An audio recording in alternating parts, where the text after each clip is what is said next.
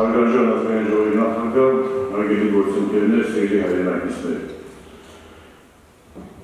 Նիկոլ Փաշինյանի այսօրվա ասուլիսի մանրամասներին մեր գործընկերների շատերը արձագանքեցին եւ չեմ անդրադառնա այն հակաիրավական գործընթացին, որը փաստորեն խախտում է ոչ միայն Հայաստանի Հանրապետության, Արցախի Հանրապետության սահմանադրությունների գերագույն խորհրդի որոշումը, այլև մի շարք ասպեկտներ։ Ես կցանկանայի անդրադառնալ Նիկոլ Փաշինյանի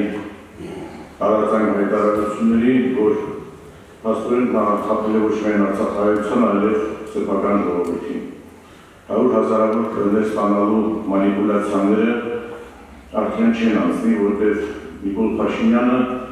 իր ծրագրում ուրիշ բան էր նախատեսել Արցախի համար եւ հաստորեն ստացվում է, որ նա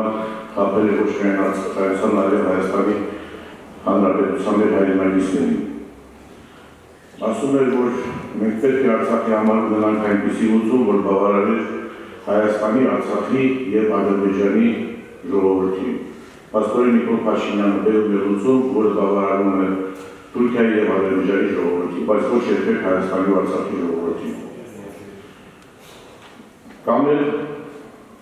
Հայաստանի ժողովուրդ ասելով նա հասկանում էր իրեն եւ քյութը վարչակումը։ Եվ ամեն անգամ էր հայտարարություններին արձագանքում, որ ճիշտ չեն հասկացել։ Ես անգամ էլ եմ ասում, եք ինչպես ես ասում, ամբողջ հայրովորդ հասկանում մի ձեր, դուք ձեր դերերը եւ ձեր վարչախումբը կպեական հասկանում եք ուրիշ ձեր։ Ակամայից հիշում եմ Հովանես Թումանյանի շարի վերջը պատմությունը, որտեղ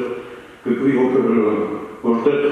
գիտեք այդ կկվի պատմությունը եւ այսօր Հայաստանի իշխանությունները գործում են կկվի հոգեբանությամբ։ Ուրիշ հարց է, որ կա դիտարկություն։ Այնտեղ կկում կարող է միանի կա Արդյոք միամտության դերեսկան անում։ Ես կարծում եմ, որ 18 թվականի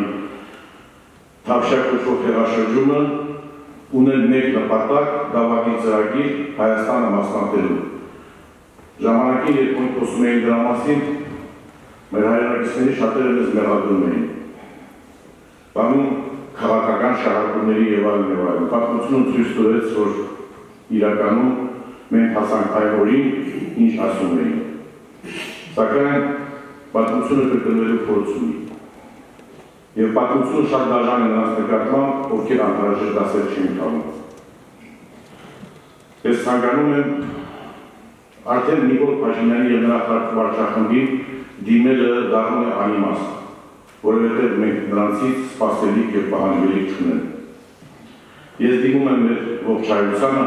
որ առաջ կանգնեցնելու կտրելու այդ ավանդի ձեռքը այլապես մենք չենք ունենա ոչ միայն Արցախ, այլև Հայաստան։ Շնորհակալություն։